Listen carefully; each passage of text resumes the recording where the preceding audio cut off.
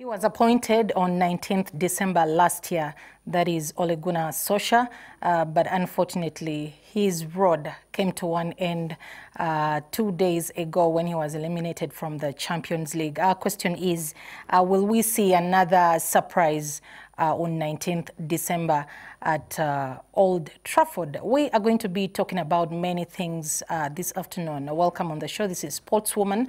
My name is Becky Cynthia Nachimera. We have uh, two guests uh, on the show. We have uh, Janet Mbabazi. Uh, she's a cricketer and she's an award winner. she has been escorted. she has come along with Uganda, with the national team captain, that is Awino. Uh, we understand that they are already on their way. They were already on their way to the camp, but they made a stopover to share with us their story and uh, what is happening in the cricket industry. Uh, with me also is Nakate Olivia. She's going to be sharing what is happening down there in the netball uh, industry, we understand that most of the teams did not uh, give in their COVID results, so the league has been postponed until uh, next year. We're going to talk about the Star Times Uganda Premier League. Uh, lots of games have kick-started, and uh, we are seeing good talent uh, there is in the in, in this season. Uh, we understand that uh, we'll be going for Chan. Uh, that is about January, so we'll also give you a highlight of what is happening. We'll talk about the UEFA Champions League and a lot more on the show. Just stay locked to urban. Our poll question for today is, uh, with the rising numbers uh, of COVID-19, should the Uganda Premier League be suspended? You can go on our social media platforms and give your comment. We will read it right here. Welcome, Nakate. Thank you, Becky. Welcome, viewers, to Sportswoman. So we have a lot in store from netball. You know, we're excited. She Cranes was invited to play a friendly match with mm. South Africa. I think that's from 20th to 27th January, January. plus also um, ship for the under 21. I think this will be good because it will be helping um, the ship to prepare for the under 21 World Cup in Fiji. Yeah, we'll talk about later later on because I'm also worried on uh, the procedure that is going to be used to, you know, select the team since the league has been suspended, uh, people have not been training, and uh, a lot more. Welcome, Awin, on the show. Thank you very much. Mm. What has been the highlight of your week? Uh, it could be away from cricket, anything. Uh, nothing Sporting. much, but getting ready to enter the camp because we have a elite league and it's starting tomorrow. Okay. Yes. All right. How prepared are you? Uh, not so much. We are just mm. going to play and enjoy because we are all four. that reminds me of what Faith talked about uh, netball last week. She said that she tried to contact some of the players and uh, she was asking them how ready they are. And they were like, no, for us, we are ready to play. We don't mind. We're just waiting for fixtures. So it is really interesting, but she will share with us more. Welcome, Mbabazi, the award winner. Where is the word? Oh, I, I, if, if, I, if I knew you wanted to see it, I would have come along of with course, it. you. you have to inspire the ladies out there. Anyway, congratulations. Thank you. She's the WUSPA 2019 award winner, you know, in the cricket uh, category. Congratulations Thank once you. again. Thank you. How did you feel? you know, getting that award? I uh, must say I was a little bit surprised, but it was actually great getting to know that I won the WUSPA, you know, uh, Female Cricketer of the Year. It was, it was such a great honor for me. So, yes. What does this really mean to you? It means quite a lot. So this helps me now uh, build my confidence because I know I can achieve more great results next season, hopefully, if we play more games. So it means really, really a lot for me. Okay. Um, besides playing cricket, is there any other sports you do? Uh, yes. I play softball sometimes when I'm not a little too caught up with cricket in school. So I play softball as well, and I play soccer for fun. okay. For fun, soccer? Yes. Oh, wow. You know, most of our viewers understand uh, the, the dynamics of football, netball, a little boxing, but when you bring it to golf, cricket, they think it is such an expensive game, which I, I might say it is true. How do you handle? You mean my the financially? yeah, okay, so uh, I I, I, really most okay most of my friends are like that as well. They like feel eco cricket is a very expensive game, and they cannot get to playing it, or uh, it's hard to even understand it. But cricket in Uganda is not that expensive. I mean, I believe every sport isn't expensive. All you need is like a, you know, someone to throw balls for you or someone to, you know, to guide you, you know, with the basic skills and all of those things, and it should be okay. Okay. Who was your inspiration? Locally or internationally? Where, uh, locally and internationally. Okay, so I'll tell you who inspired me. My sisters, because they started playing cricket uh, in high school, in, in school. So growing up, I just watched them play, and I just got inspired. I, I told myself I wanted to be like my sisters Okay. and play. Uh, internationally, I would say mm, Meg Lanning. She's uh, an Australian cricket captain, and just watching her play is enough for me. Okay. yes. Uh, talking about uh, the Elite League, uh, Kevin, how prepared are you people?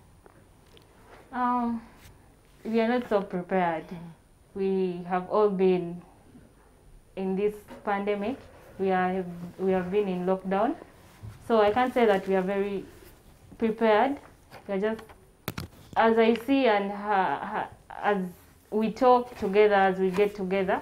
The only thing we, we want to do is to play and have fun because it's also going to be we- we are just have we are just going to have little time to play that elite league so we just we are just going to enjoy Uh, aren't you having a setback of uh, some players because we understand this has been, you know, a big space. It's kind of big, about eight months. Don't we have some of the colleagues who are pregnant, most of them who have given up, and it could really affect you people as a team?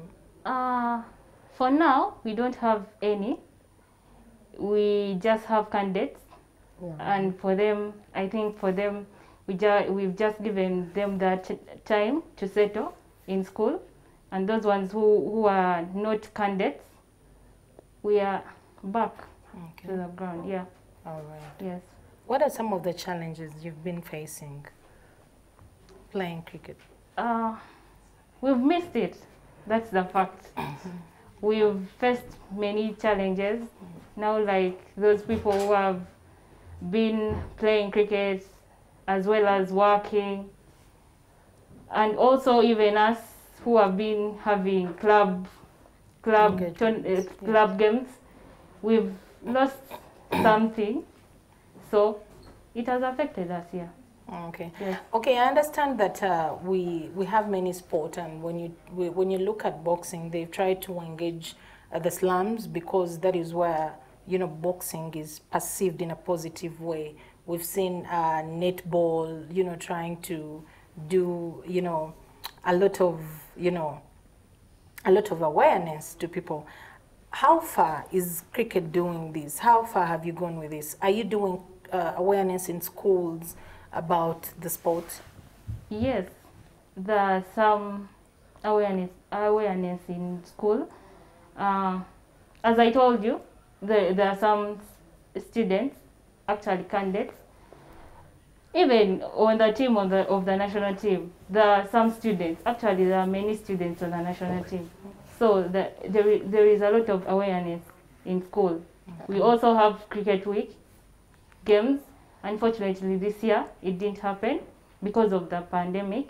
But let's just pray for next year so that everything goes on well. Uh, Becky, um, Kevin, why don't you tell us about the possibility of a person who has, has not attended a school which plays cricket, the chances of becoming a cricketer? Uh, Uh, because I understand um, cricket is, is played mostly in schools, Yeah. but take for instance, I haven't attended a school which plays cric- cricket, so what's my chances of understanding cricket? So I, I think for that, like uh, there are now people starting academies. There's a Soroti Cricket Yes. Academy. Soroti? Yes. yes. Okay. So Is it best in Soroti? Yes, Yes. it is best in Soroti. So for Soroti cricket academy, if you're in Soroti, you can actually go and you know have people training if you're interested in playing. If you're not, if like for let's say kids who can't go to primary schools and get proper coaching, so if they, they can get to you know the academy and you know have training. Also in Kampala there is a Little Stamps Academy. Yes, for where, little uh, kids. Yes, for little kids. So if, if your child isn't able to go to school, like let's say if, you know, uh, kids from the village and they can't actually afford to go to school or anything, so they can just join the programs and, you know, get the, the skills for cricket. I think so, Yeah, yes. uh, since we are on Sportswoman Show, um, uh, maybe Janet can tell us about the possibility of um, women empowerment in um, cricket sector. Women empowerment. Okay, so cricket for for, uh, for most of us uh, living life, you know, uh, studying, uh, studying and uh, playing cricket, and you know, having role models that you know, um, like uh, cricket has helped us, especially building our you know self-esteem, and uh, cricket has helped you know empower most of the women. Like let's say for example, uh, let's say Naomi uh, Kayondo, she's she's she's not able to be here today. You know, uh, living, uh, coming from a cricket you know background, having a cricket background, and you know having you know the the the I would say the motivation or the passion to you know grow and you know start start your own uh, academy. I think uh, that has been a very very good thing for women, and a few years to come, you'll find you know a lot of people looking up to you know Naomi and you know uh, most of the national team players and and all. Yes. Wh- What could be the chances of uh, you people on the national team going professional? Uh, you mean like uh, from at, at, at the uh, rating from one to ten? Yes. Chances of us going professional? Oh, that's that's a tough question. You can't tell. that's a tough question. That's that's really really really really tough. I would I'd probably leave that for my coaches or. Okay, um, we have seen the government uh, engage in a lot of sports, especially football, I would say, uh, because uh, they, they, they, they give finances. We have seen the national team travel in preparation for, you know, a league and stuff like that. Do you think the government is doing enough to help cricket as a sport? I, I, anything to do with finances for sports or cricket in particular, I I am not very very Yes, very sure. very well it. conversed about that. So I wouldn't have much to say about uh, cricket funding, but basing on you know how much we've been getting, uh, the support we've been getting, I would say uh, I don't I don't think there's been you know great support for women cricket. I don't know. I don't know about netball or you know Maybe next soccer or anything. Netball but is also yes. yawning. Yes, so, so maybe she'll tell us if you know. for, for us, But not as much as cricket does. Not as much as Are you sure? Okay. um, so um, we we have seen um, like teams prepare, you know, before uh, they have uh, like like you people are going in the camp and stuff like that, and the fact that we we are in this situation of having even numbers rise, the COVID cases. Have you people already tested for COVID? Yes, Yes. we have. 72 hours too. Yes, yes, of course. Of course, yes. And have you had any any team members that are positive or something? No, we do not know that yet, know but that. we are here, so we are obviously, you know. Okay, Yeah. so how ready are you for the league? Uh, okay. So personally, I, I would say I have prepared myself mentally because physically, it's it's I haven't been doing tra- a lot of practice uh, because you know it's also hard to you know be in a crowd and you're training and you know you're afraid of the virus and you know you want to keep yourself safe, your family safe, and your friends safe. So I haven't exactly had a lot of time to do practice, but we I would say if, uh, on a scale of one to ten, we're about maybe four percent ready for the tournament. Okay. Yes, so I hope you know that four percent is you know good enough. For the few days. yeah. Okay, Kevin, what should we expect from the national team a year to come? I wouldn't say two or five, but in a year, a year to come. Uh, we are just praying that that everything comes to normal. We we are just praying for everything to come to normal so that we get back to the ground. We train hard because we we really really have to work hard for all the best for our country and our association. Okay. Yes. No, you know, to um, a young lady out there, you, Kevin, you look 20 to 19, 19, 20, 19 and 20. Can't even say 19. She will tell you she's 16. Don't joke with ladies. She's young. Ladies never. and uh, yeah, she's young, but um, uh, a national team captain of people above her age. Okay. How are you able to handle such a big responsibility? It's not easy, that's the fact, but it's about how you handle the players and how you conduct yourself. Yes. And how you get to you bring the team together and how you understand each and every one on the team.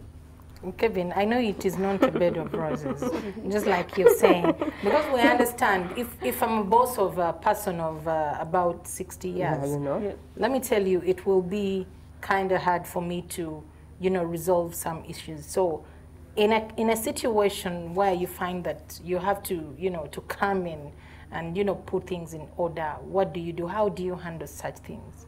I first sit with that player. I first understand her.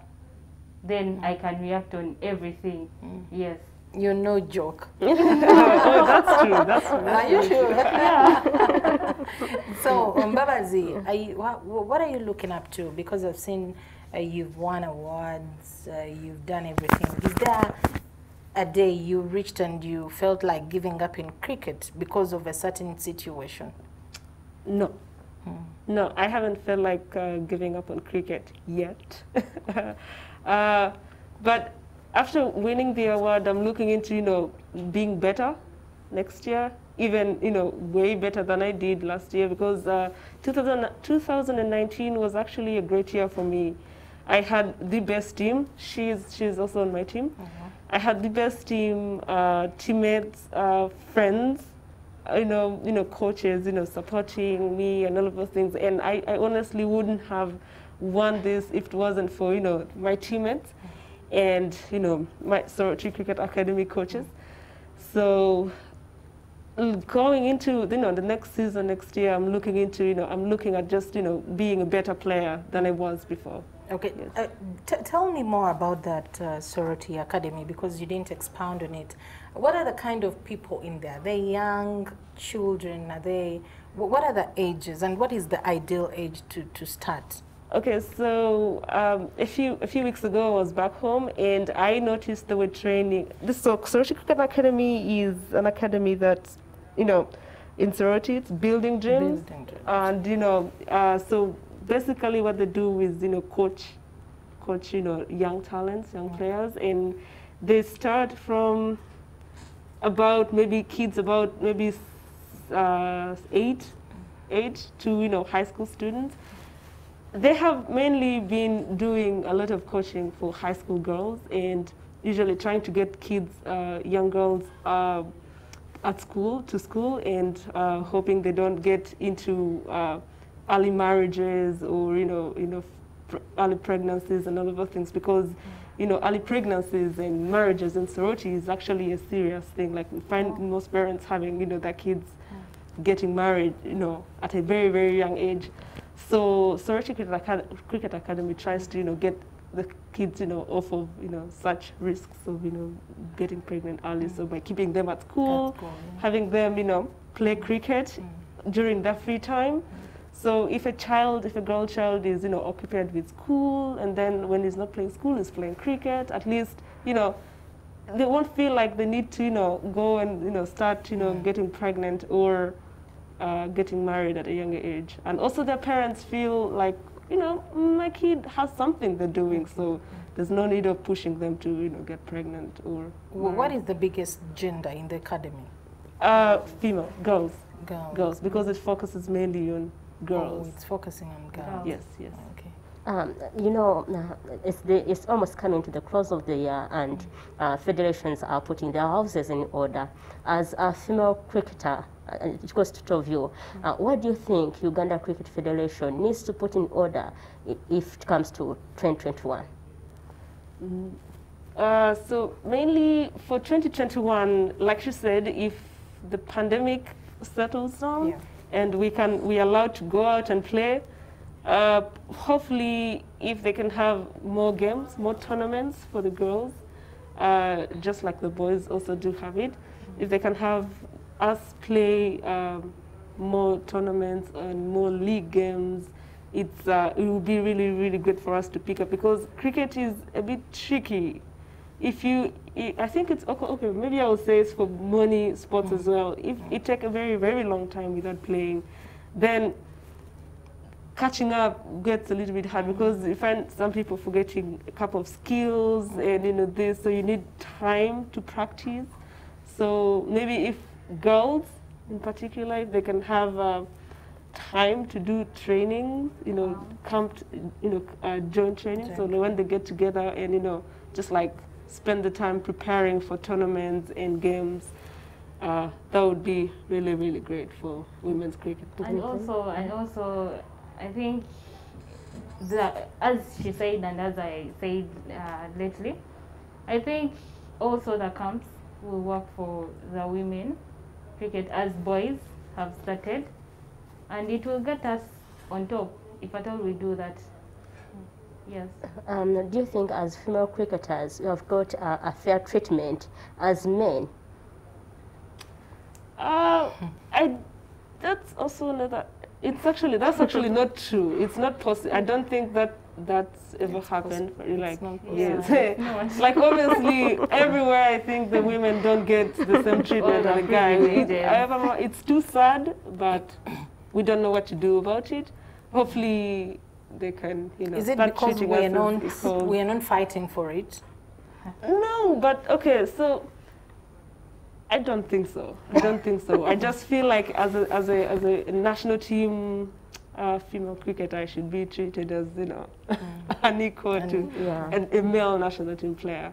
Yes. So Have you ever attained a serious injury doing cricket?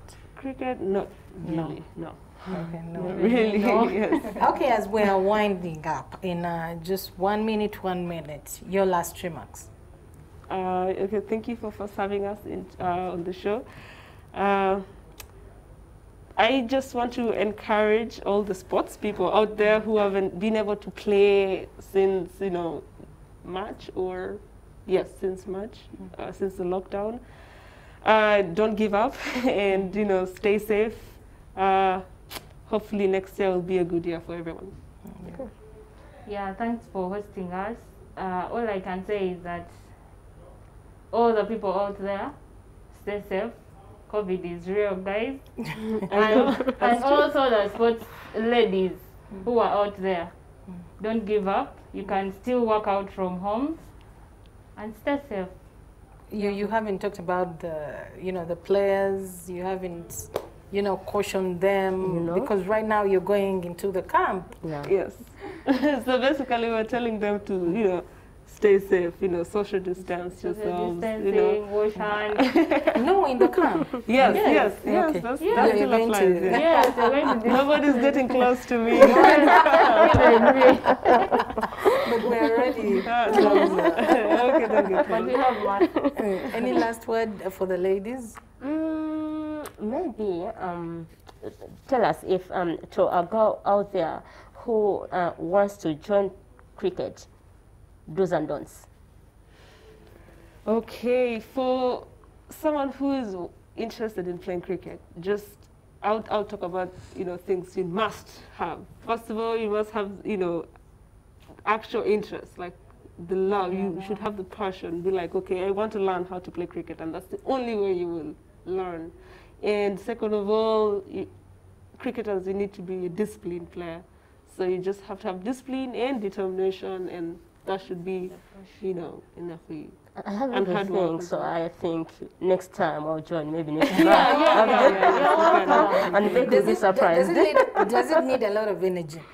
Uh, yeah, for, for some people. Does she have the energy? she looks like I a do, I do. I contact that man, you know. anyway, this has been Mbabazi and Kevin on the other hand. They've been uh, sharing uh, their light moment stories of how they joined cricket and we understand they're going into camp. Uh, they urge everyone who is there in the camp, of course, you know, to be disciplined and maintain the SOPs because COVID is real. We'll go for a short commercial break, but when we return, we'll talk some netball, uh, Uganda Premier League and UEFA Champions League. We'll also be joined uh, by Faith Kiai on phone. Don't go away.